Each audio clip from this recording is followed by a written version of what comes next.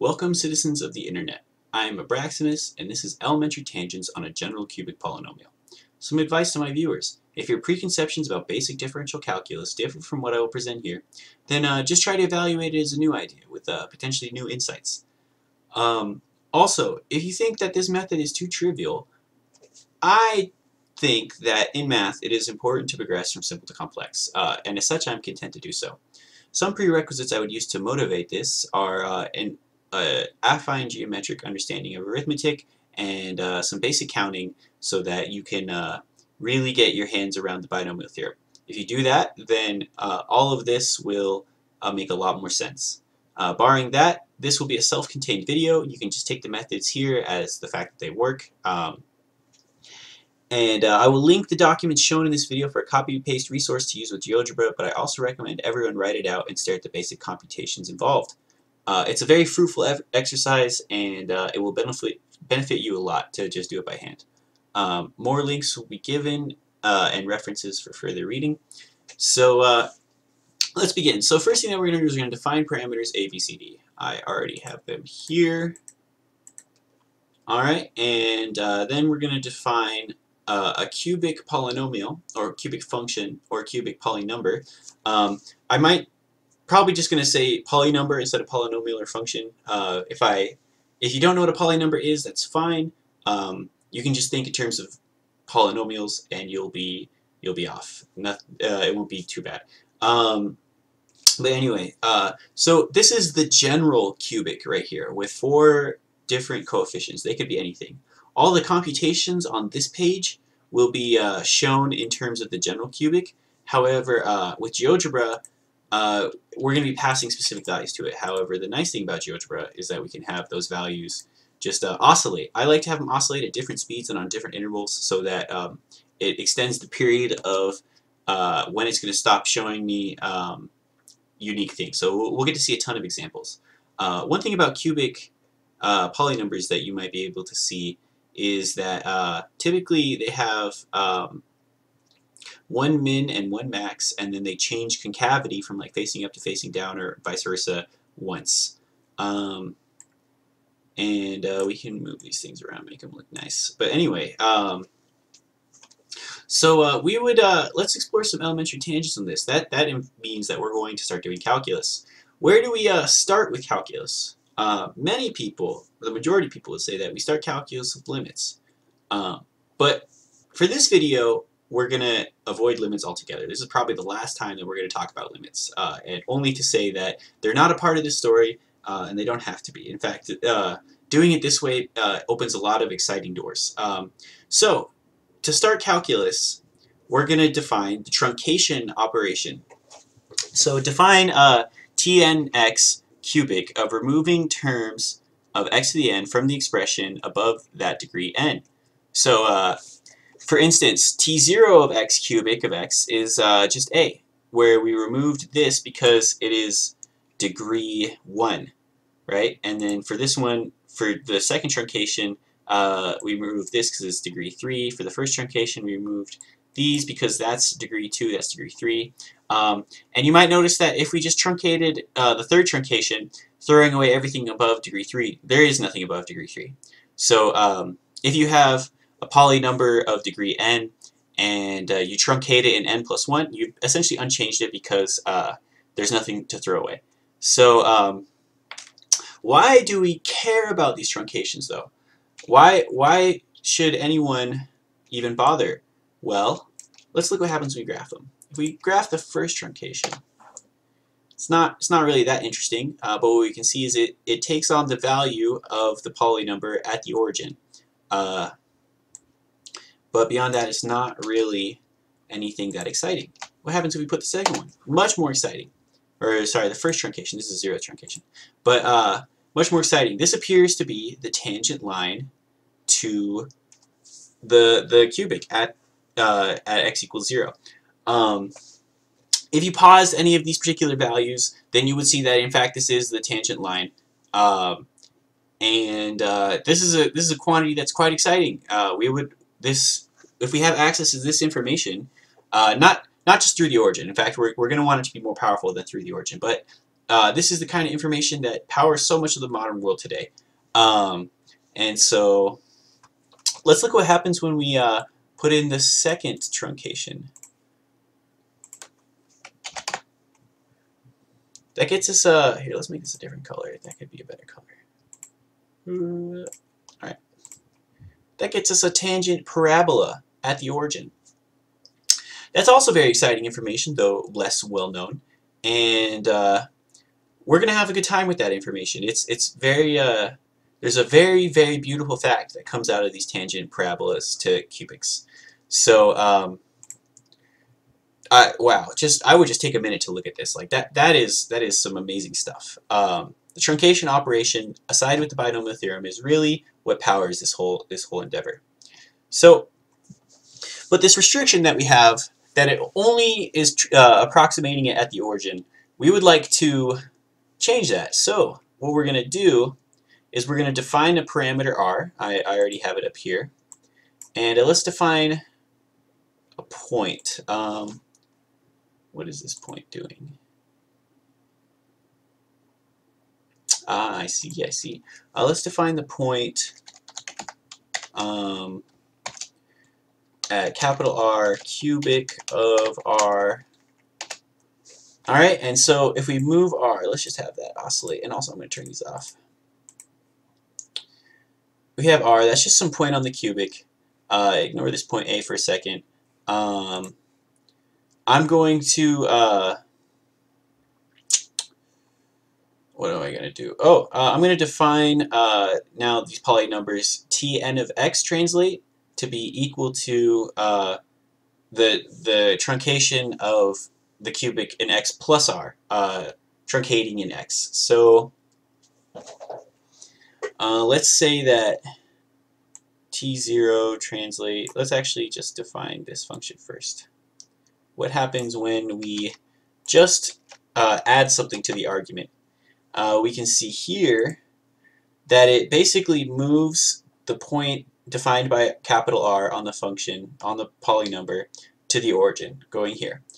And uh, it, it uh, it's a isometry, this translation is an isometry, so it moves all of the points uh, rigidly, um, as we can sort of just see here. So when we take the truncate of the cubic, uh, let's let's do this.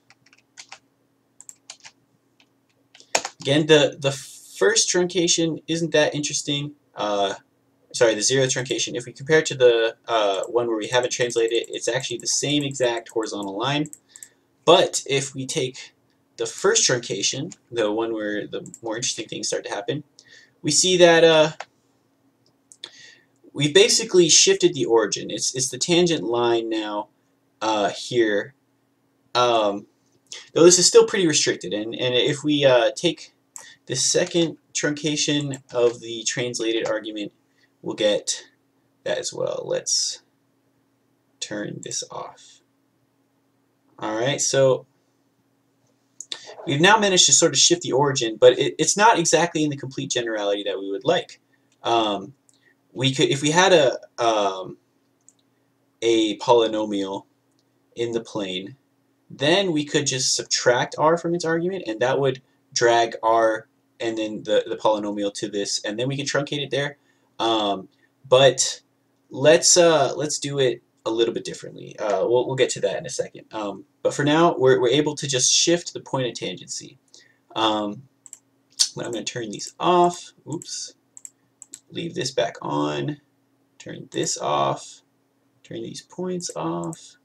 Let's even just hide these and stop this from moving.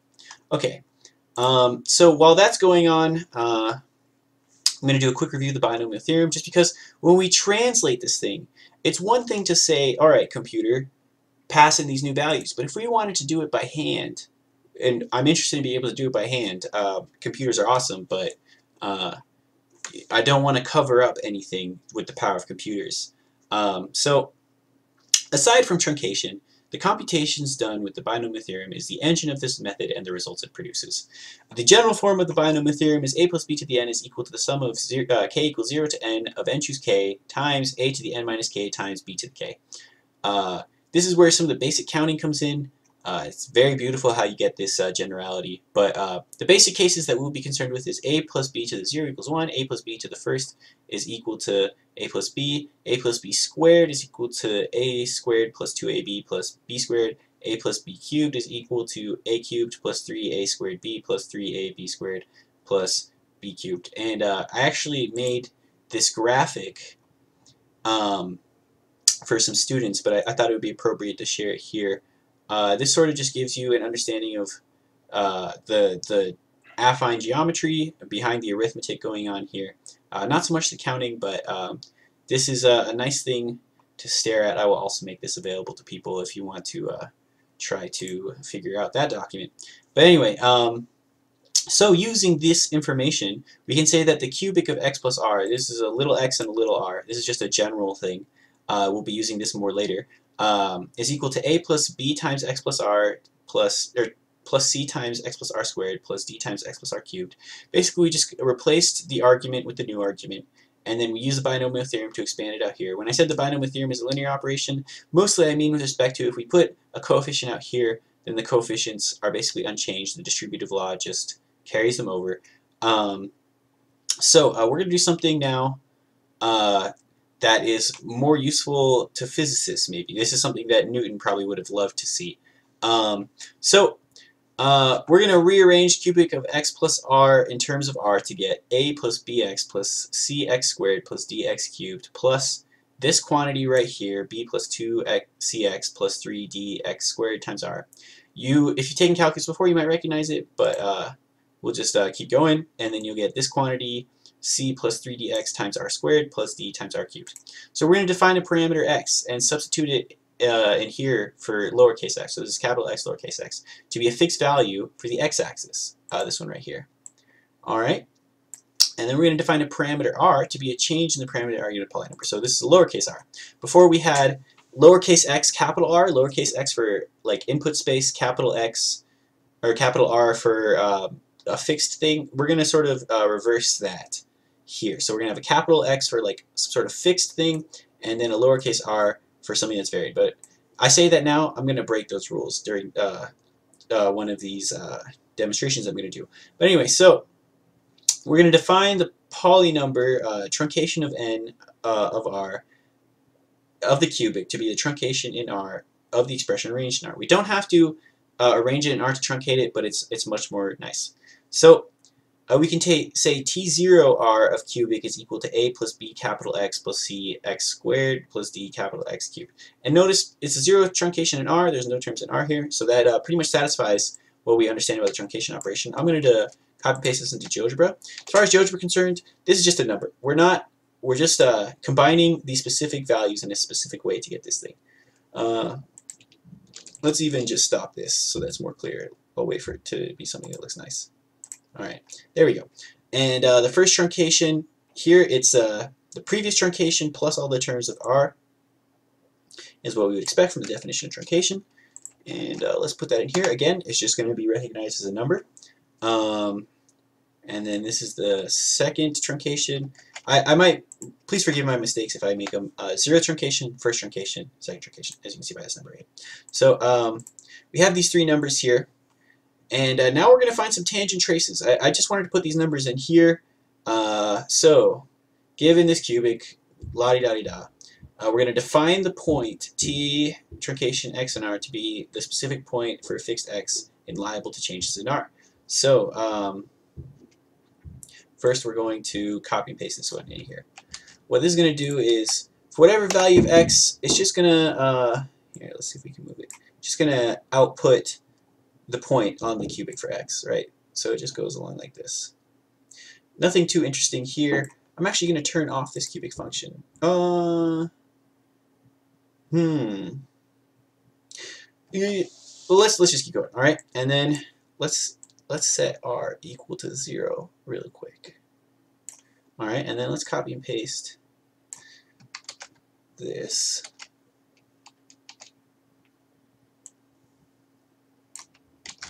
and this. Alright, so we are uh, so far nothing appears to have happened, but let's uh let's make these different colors. So let's make this one red and this one blue. And then we can move X anywhere. Let's move X like right here. And then let's turn on the traces of these things. Okay, so what is a trace? Um, basically, the, the point is going to put down a stamp of where it is. And if we vary R, we can see that the traces come out with these tangents. They, they basically make images of the tangent. Um, this is pretty interesting information. Uh, I'm going to turn off this uh, T2 right here just for a second. And uh, let's get rid of the traces. If you just uh, nudge it a little bit, GeoGebra will erase the traces. Let's uh, let's put a vector from here to here. Let's put that there. Let's turn off the trace of this. Let's turn on the trace of this here. Wait, uh, I'll come back to this. I actually skipped ahead, but whatever.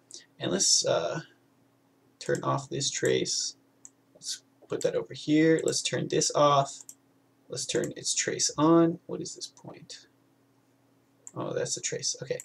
Alright, and then we're just going to nudge this around. Alright, so if this is probably particularly useful to physicists, uh, we got a tangent vector to this thing. So as this uh, path goes down, uh, we'll, we'll get a tangent vector to it. That's a, like I said, Newton probably would have loved this. Um, I, I don't think modern linear algebra was really around when cubic, or when Newton was doing his stuff. But uh, notice that we can uh, change this value of r, and all it does is it changes the uh, the quadrance of the vector. If you don't know what the quadrance is, you can also think the length of the vector, but uh, I prefer thinking of the quadrance. It's basically the length squared. Um, and uh, let's just set that to 1. It's very nice to just set it to 1. Um, and uh, I'm just going to leave this thing animating. Let's turn off its trace. Uh, and let's we just turn off this thing. Know that the vector is from this point to this point. Uh, nice. Amazing. Look at that. Tangent vectors. Uh, we didn't we didn't even do that much. All we did is uh, truncate in R, and we fixed R. Even though I said that it would be our input space, I, I know I lied. Uh, it would be our input space if we held X fixed. I'll wait for it to be back on the screen.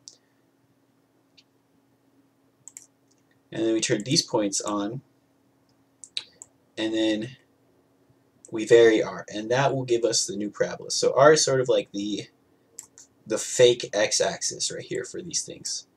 Um, but ignoring that, uh, let's just set r to a positive value and then let this vary again. Um, so yeah, uh, that that is uh, some pretty nice stuff. I went a little bit out of order. Um, so we defined the, the tangent vector. Um, let's talk about some notation real quick. Notation is very important. So um, the cubic of x plus r. We've solved it in terms of r. Um, I'm going to define cubic of x plus r this way uh, to be also be equal to d0 uh, times x, uh, sorry, not times x, of x, d0 of x, d1 of x times r, plus d2 of x times r squared, times d3 of x r cubed. And if we just compare these two de definitions, um, then we see that d0 of x is equal to a plus bx plus cx squared plus dx cubed. Uh, then d1 of x is going to equal uh, b plus 2cx plus 3dx squared. If you take in calculus, you might recognize that this is the derivative of our original thing. d2 of x is going to be um, c plus uh, 3dx. Uh, and we, we're going to call this the first subderivative or the quadratic approximation. And uh, this is not quite the derivative of the derivative. Um, this is uh, the second derivative divided by 2. Uh, and then here, d3 of x is just going to be d. Um, this is going to be, uh, these definitions will be more fluid in the future. Um, basically, uh, this x here tells you um, what the variable inside is, and then this 3 tells you to what degree uh, that you've collected it in terms of will be. And we'll, we'll see like a, a, symmetric but alternate version of this as well. Um, and uh, these quantities appear in the Taylor series of, uh, this is just for people who already sort of have some preconceptions about calculus. These quantities appear in the Taylor series of this cubic. In fact, um, we'll see that this is very closely connected to the theory of Taylor series. So um, in general, dn of x equals x to the k, uh, sorry, dn of x of x to the k is equal to n choose k times x to the n minus k. Uh, there's just some counting right there. And uh, it, this is a linear thing that we can apply to something like this. So if we have a times x to the b plus c times x to the d, then that's going to be a times uh, the derivative or subderivative of this thing plus c times the derivative or subderivative of this thing. So it's linear, uh, which is really nice.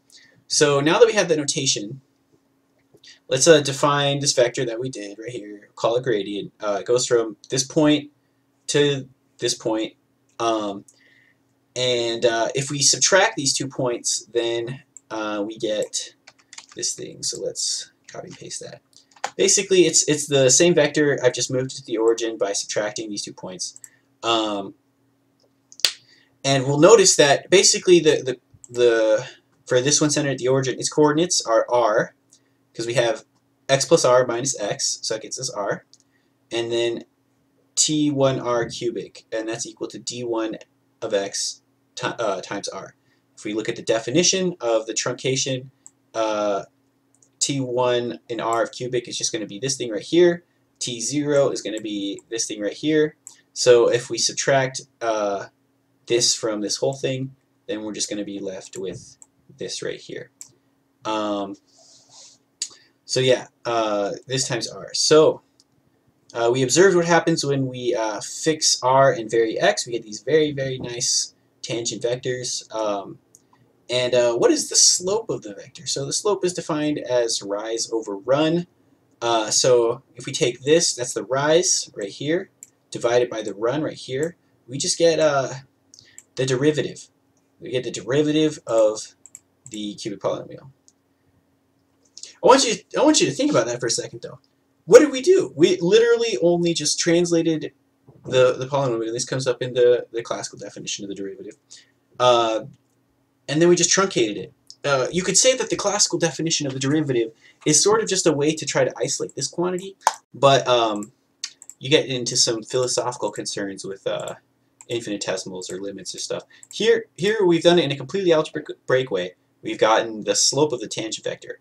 Uh, but let's not stop here. We're going to uh, use the, this tangent vector to find the slope of the tangent line.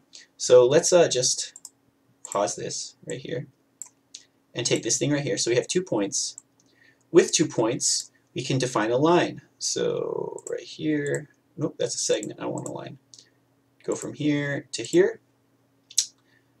Now we have the tangent line. For any value of r that's not 0, see that? It's not 0. It's impossible to define a unique line with one point. Uh, but for any non-zero value of r, we can have a tangent line right here. Um, so what is the slope of this tangent line? Uh, we're going to expect it to be the same slope as the vector, but let's let's try to figure that out. So uh, convenience set r equal to 1. It, it, doesn't really matter. It just makes r disappear from our computations. Uh, and then we're going to use uh, one of these things. So given two points, x1, y1, and x2, y2, the line joining those two points is this formula right here. Um, that's a, a, result from Cartesian geometry. I'm not really going to uh, develop it here. Basically, you take this minus this times x times uh, plus this minus this. Sorry, this minus this. And then, did I write it backwards? No, no, uh, this minus this plus this minus this. I, I'm sorry, I had a brain moment, a uh, brain fart there. Uh, so this minus this times x plus this minus this times y plus uh, this quantity right here you might recognize as a determinant. So this times this minus this times this. And that equals 0. So that's going to be the line joining them. Uh, you can verify that if you just take these two points. Um, so the line between those two points is going to be cubic minus the first truncation in r of the cubic times x plus x plus r uh, minus x times y plus x times t1 r of cubic minus x plus r times cubic of x equals 0. Uh, and then we're going to simplify this so compactly we get um, uh, negative d1x of r plus uh, sorry, uh, negative d1x of uh, d, the derivative in x of r times x plus r times y is equal to, uh, or sorry, plus x, capital X times t1 r cubic minus x plus r cubic of x is equal to 0. And it's kind of a mouthful. Um, anyway, you can check my math. Uh, if you put it into slope-intercept form, you subtract this, uh, negative, negative cancels, um, and you subtract this uh, as well as quantity right here. This is just a constant.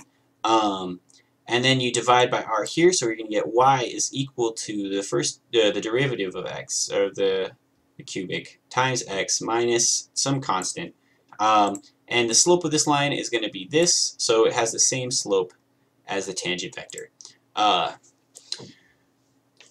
but uh, we're not going to really focus on the slope. The slope is important information, of course, of course. Uh, I, I mean, I've just shown how to get the slope of the tangent vector. Like, I, I don't think I really need to justify how important the slope is past that point. There's many people who use that in their daily uh, practical lives. But um, this is kind of like the tree in the forest. We don't want to we don't want to lose sight of the whole forest. Even though this is a very nice tree, there are many other trees.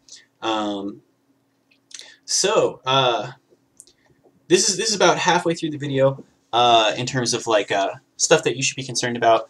I'm going to uh, just take all of this off of the screen. And uh, that was one way to find the tangent line. Uh, we might even just move x a little bit again. So we have a tangent line.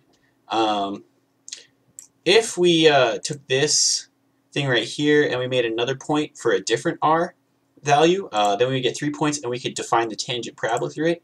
But that's kind of annoying, you know. It, first we generate three points and then we uh, then we have to uh, use some sort of uh, formula to find the line or the parabola through them, and that's a lot of work. Is there a better way is basically the question. And uh, so I'll show you that better way. It's it's much it's it's beautiful. I love I really love math. This is one of my favorite results um, in math as well. So we're going to start with the cubic. Let's say this one. And we're going to translate it by r. This r right here. And uh, so if we just plug in this thing right here, uh, for whatever r, that's just going to give us another, it's going to give us the exact same uh, cubic basically, uh, just shifted as we've seen. Uh, so we're going to collect terms uh, of x to the n this time. So previously we connected terms of r to some power, but this time we're going to do collecting terms of x. So we get this thing right here. So all these things in r, this is the previous quantity that we saw before is the derivative except all the x's are replaced with r's and the x is here. That is because of the symmetry of the binomial theorem and the same thing happens here. The symmetry of the binomial theorem really is uh, powering this thing. So the final step, this is all we have to do. So given this translated by r, we get this thing. Collect terms of x, you get this thing. Set x equal to x minus r. This might seem like a really trivial thing. You might say, Corbin, where we you translated it, you untranslated it, but uh, uh, we are uh, gonna gonna keep going. So basically, in the argument of this cubic, we're gonna have x minus r plus r. The r's cancel, and we get cubic of x. Uh, I like to rewrite this as cubic of x semicolon r, uh, just to just to show that the semicolon literally means that we have taken x, we've translated it in r, and then we subtracted r back again. But because we uh, uh, oh, the semicolon also means that we use the binomial theorem to expand it. So then we get this thing. We replace uh, this x right here with x minus r. Replace this x squared with x minus r squared. Replace this x cubed with x minus r cubed. That's the only difference. Uh, this can be recognized as the Taylor series of the cubic. Uh, usually the Taylor series definition is given in terms of limits, but if you actually evaluated it, uh, you would get this thing. Um, and uh, this can be undone. So this really is equal to the cubic of x for any value of r. It's going to be the same exact thing. So let's let's test that out. Um, let's copy, paste. All right, so it just gave us the same exact thing. We change r, nothing happens. It makes sense. You know, we, we translated it by r, then we translated it back by negative r. Um, so we shouldn't expect it to move. So you might say Corbin, Abraximus. Those those are synonyms. Abraximus you you we haven't really accomplished anything except making this more difficult to compute.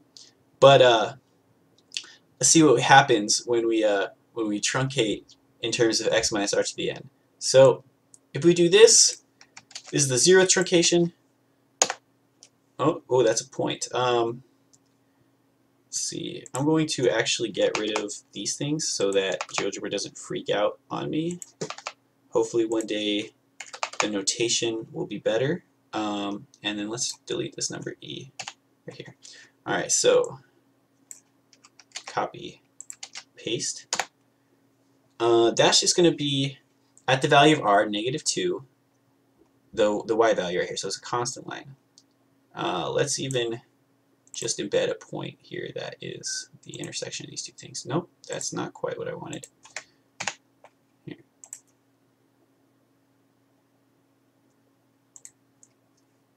See, will this, no, no. Do I have to zoom in? this is awkward. Oh, where did that go? Alright, I'm not going to bother.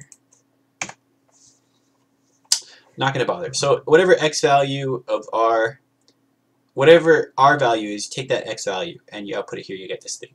Not very interesting, uh, but let's see what happens when we take the first truncation in x minus r. That's just, that's straight up the equation of the tangent line. Uh, I'm gonna I'm gonna set r just to be animated.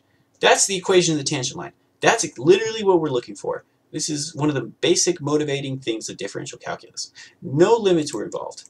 Um, we did it completely algebraically. So let's let's try to understand what's going on here. So this is obviously the uh, the height of the the cubic at some value r, as you can see right here.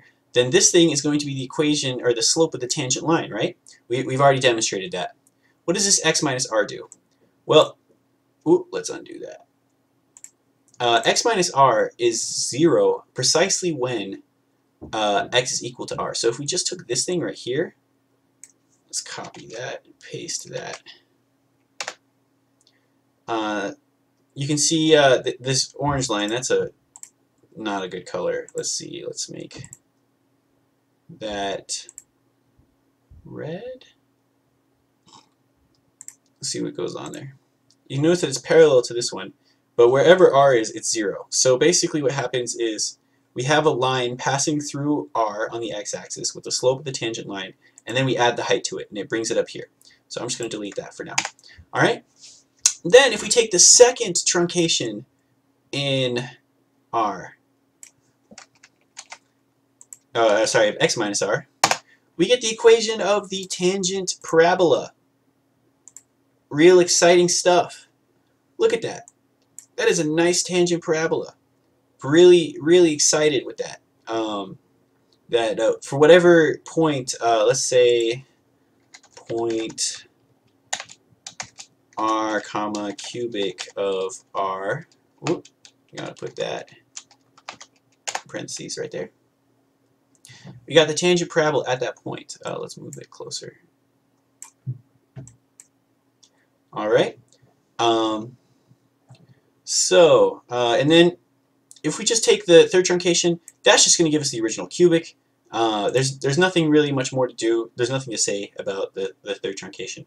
Um, so, there you have it. A better way to find the equation of the tangent line, as well as higher dimensional analogs. Super easy. It's one of the easiest things in the world to do.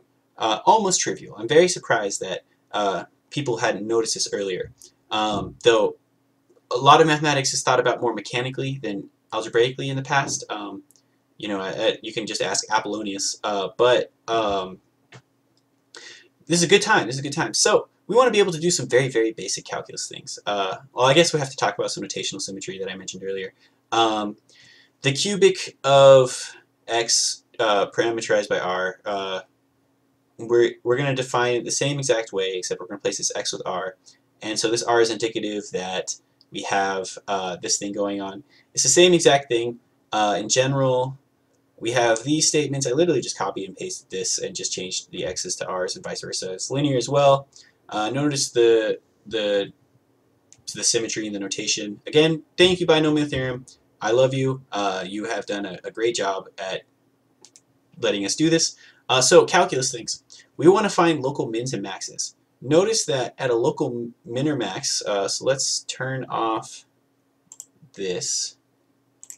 So this is a, a min, or this is a max, and this is a min. If we get real close to it, the tangent line turns into the the tangent constant, and as well here. Alright, uh, let's see if it'll let me. Can't quite get it there, but it, it basically degenerates into it. So, um,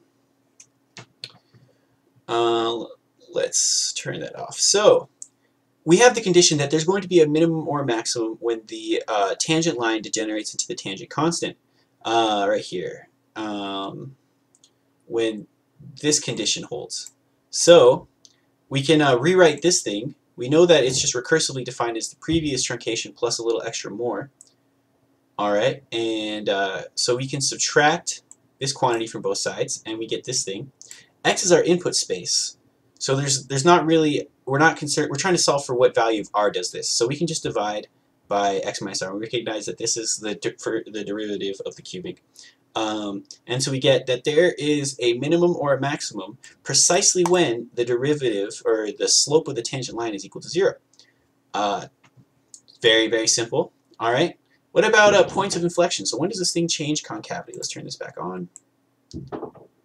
All right. And so we notice that at the point of concavity, the tangent parabola gets very, very close to the tangent line. In fact, at the point of inflection, it will degenerate completely into the tangent line. This isn't probably the best uh, cubic to show that on, so let's let's try to find a, di a different cubic.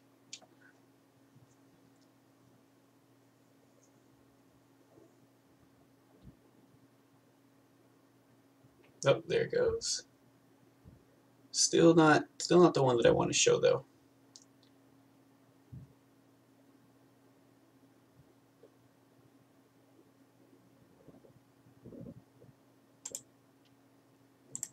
let's just go with this one.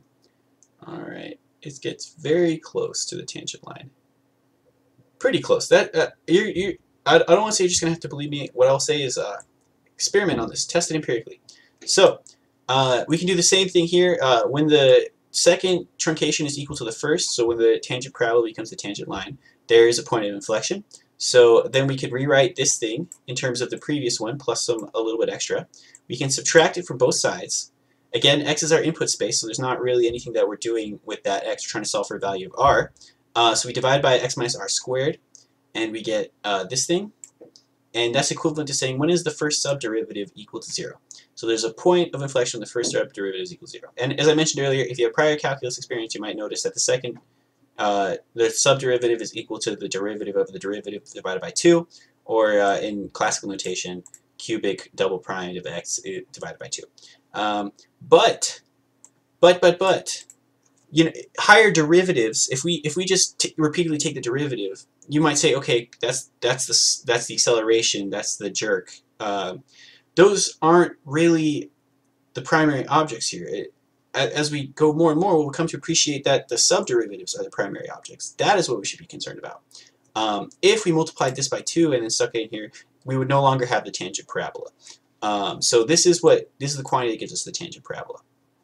All right, this uh, video is almost done. Um, we're going to uh, want to talk about one more thing. It's called the prettiest theorem in calculus. So the theorem is uh, given a cubic function x, all of the tangent parabolas are completely disjoint. All right, let's let's let's try to uh, let's try to frame that in some meaningful way. All right, uh, uh, near the origin, um, or near the point of inflection. So let's take the trace of this, and then let's just let R move around.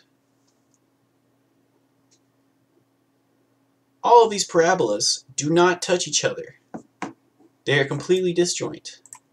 Let's uh let's do a different cubic and test that. Oop, I should turn off this trace.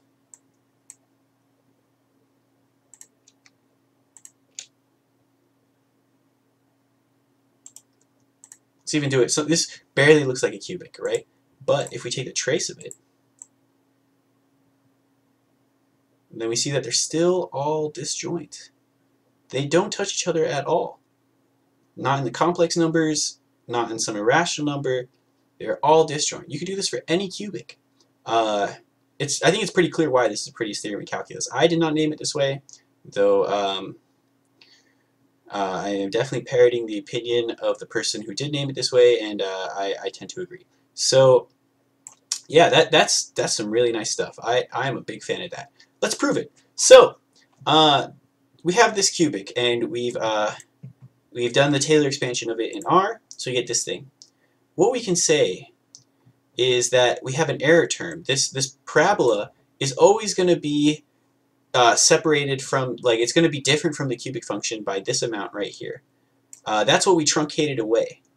So uh, basically we can say here that uh, the second truncation is equal to the original function minus everything that we threw away. Um, and so let's let's pick two values of r, r1 and r2. and Let's say they're different. So if we have two different values of r1 and r2, they refer to two different parabolas. And then what we can say is if two tangent, distinct tangent parabolas uh, intersect, then we can set this thing equal to each other. Alright, so if we set them equal to each other, so we basically have this thing in terms of R1 is equal to this thing in terms of R2. Uh, and we can subtract this from both sides, and we can multiply by the negative, so we'll get this thing right here. And that's the error terms. They're equal to each other. Um, but because that this is an odd degree, you divide by uh, d, you take away this thing, uh, you get x minus r1 is equal to x minus r2. Cancel the x's, cancel the negative signs, you get r1 equals r2. But this violates that the parabolas are distinct. They, they intersect the, the cubic at different places. Um, so therefore, uh, the tangent parabolas of a cubic function only intersect with themselves. Uh, and we verified that this is true. Uh, but this is the pretty theorem in calculus. Again, we can just pick a random cubic. Let's turn that off real quick. All right, just as a random cubic. Look, it has it doesn't even have integer values, and we do this. All right, all right. So uh, just a summary, quick summary of finding tangent equations to a cubic. Translate by r. Uh, so you have the cubic of x plus r. Expand with the binomial theorem. Collect terms of x to the k. Set x equal to x minus r. Then we get this thing happening in the argument, and we denote it this way. And we truncate. Uh, that should be an n right there uh, to your desired degree of approximation. So that's it for this video.